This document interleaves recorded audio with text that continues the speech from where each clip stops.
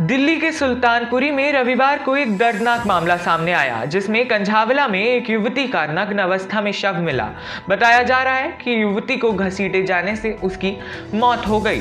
Social media पर दावे किए जा रहे हैं कि घसीटे जाने से पहले युवती का रेप किया गया। इस पूरे मामले पर दिल्ली पुलिस द्वारा चुप्पी तोड़ी गई है। दिल्ली पुलिस का दावा है कि पीड़िता के साथ रेप नहीं हुआ। पुलिस ने कहा कि पीड़िता से रेप और मर्डर का दावा बिल्कुल गलत है।